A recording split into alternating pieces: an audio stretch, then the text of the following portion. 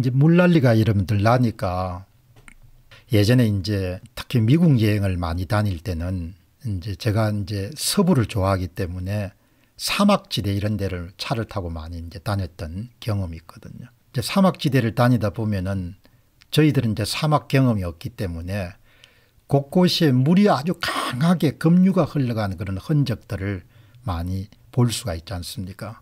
근데 근래 이제 이렇게 자료를 찾아보니까 뭐 그곳에 사시는 분들은 익숙하겠지만 사막도 우리와 마찬가지로 그렇게 사막에 몬순 시즌이 있는 거죠. 지금 정도 때.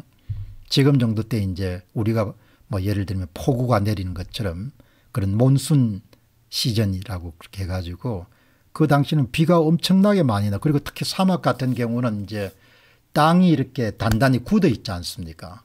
그 이제 아주 가물기 때문에 뭐 1년에 잘해야 뭐 1인치, 2인치 오는 데도 많으니까. 근데 그런 데도 다 생명이 살아남는 거 보면 대단하죠.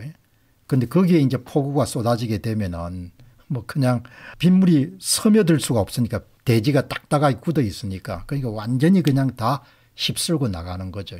며칠 전에 외신을 보니까 그 여러분들도 가보신 분도 계시겠지만 캘리포니아하고 네바다의 그 접경 지역에 있는 데스밸리 이름이 참 멋있죠. 데스밸리 죽음의 계곡 이렇게 표현할 수 있겠는데 국립공원이죠.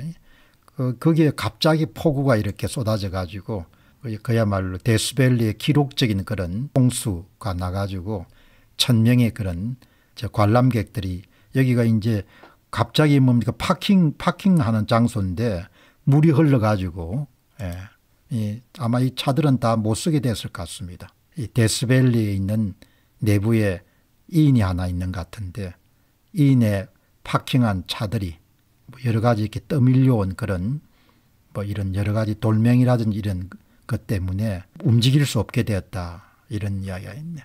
인명사고는 없었던 모양인데 이렇게 사막도 여름 같은데 여행할 때는 굉장히 주의해야 되는 거죠. 갑자기 그냥 물이 불어나니까.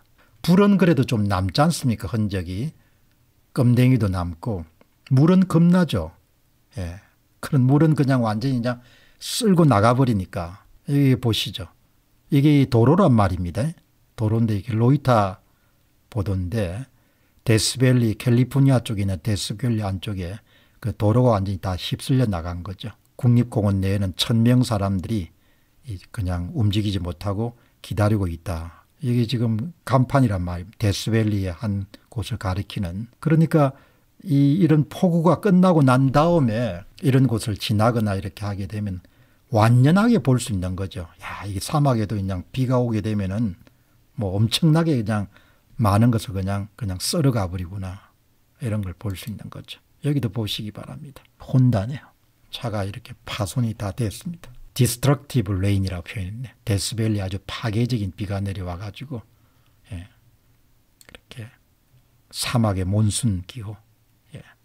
예. 그또 다른 기록들을 찾아보니까 이런 네바다라든지 아니면 애리조나라든지 이런 데는 몬순 시즌이라는 부분들에 대해서 특별하게 글들이 많이 올라 있네요. 자, 여러분들 어떻든 뭐 잘 이렇게 또 위험에 이런 기간에는 또 위험에 많이 노출시키지 않고 잘 이렇게 슬기롭게 벗어날 수가 있어야 될 것 같아요.